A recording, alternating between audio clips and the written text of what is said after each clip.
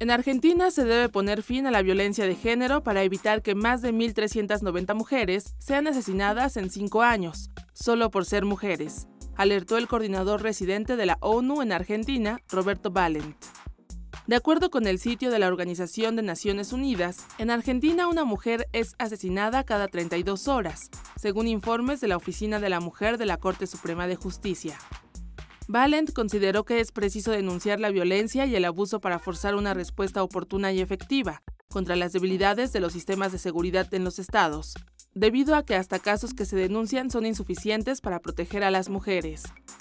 En el país sudamericano existe una línea telefónica directa de ayuda a las mujeres que sufren violencia de todo tipo y que, según datos de 2018, recibió 169.014 llamadas en esa situación,